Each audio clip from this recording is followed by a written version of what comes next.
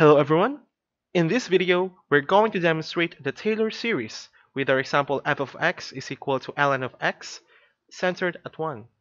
If our series is centered at 0, it is a Maclaurin series which is also one of the videos here on the series of Just Solved It.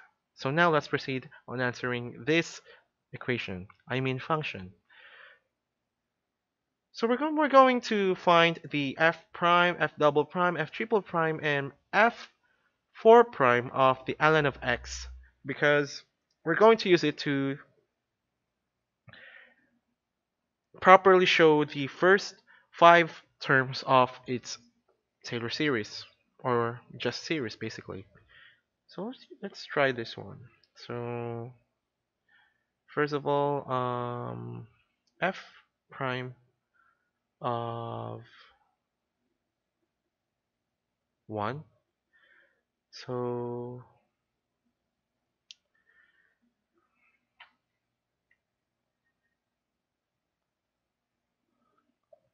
what we're going to get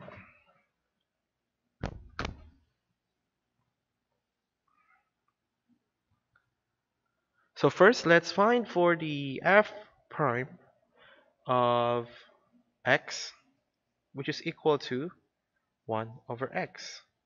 Therefore, if we're going to find for the f prime of 1, we're going to get 1 over 1 is equal to 1. f prime double prime of x is equal to negative x raised to negative 2. Um, if we rewrite this, this is also equivalent to negative 1 over x squared so um, substituting the values we will get negative 1 f triple prime of x is equal to negative 2 x raised to negative 3 which is basically 2 over x cubed.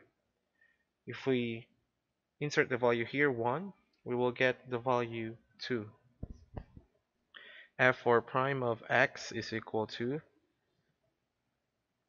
2 times negative 3 of x raised to 4 which is 2 times 3 is negative 6 over x raised to 4 if we change this to 1 we get the value of 6 so the values are 1 for the f prime of x negative 1 for the f double prime um, 2 for the f triple prime and 6 negative 6 for the f 4 prime.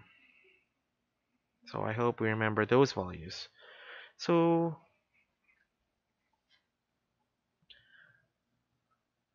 substitute substituting the values we will get the ln of x is equal to so f of 1 is 1 first let's I think let's show first you know the format so 1 x minus 1 1 so if you watch the Maclaurin series I think you'll get the format of the series okay? So here I'm going to change the center already into 1 so that's the values of 1 that you're seeing here inside the parenthesis. They are the they are the center of the function.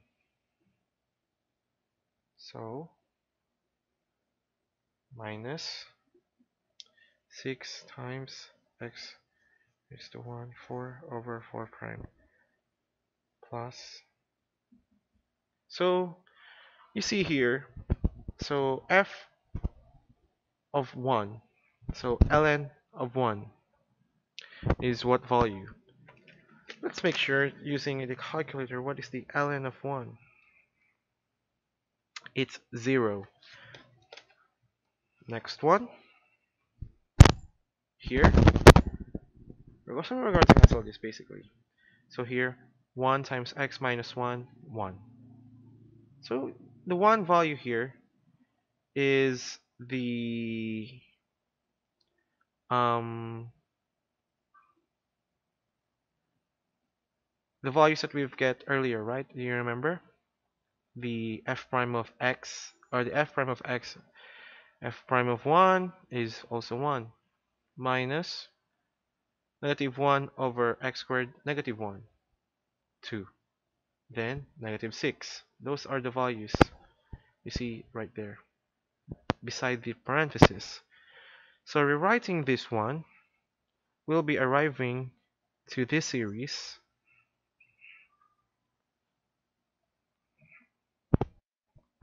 x minus 1 prime over 1 minus x minus 1 squared over 2 plus x minus 1 cube over 3 minus x minus 1 6 over 4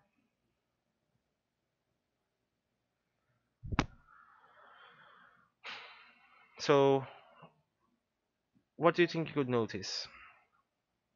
Okay so we have the constants here. Beside here we have the 1 negative 1 2 and what? We have the negative 6 so previously these were um, factorials right? So this was reduced to a non-factorial number because 1 divided by 1 factorial is basically 1 so the next term we have this negative 1 2 1 times 2 is basically 2 so 2 factorial is equal to 2 still the same. 3 factorial on the other hand is 6 but we have 2 here. So 2 over 6 um 6 so we have 2 here. Then we have 6 below right? So simplifying 2 over 6 is what? One third. So that's where the 3 came from then 4 we have negative 6 here above. So 4 prime is 4 times 3 12 times 2 24 6 over 24 is basically 1 over what? 1 over 4 so again the factorial is gone. So this is this is the series. We're going to get the closed form. Summation of um, so from n is equal to 0 towards infinity we see that it keeps on ascending.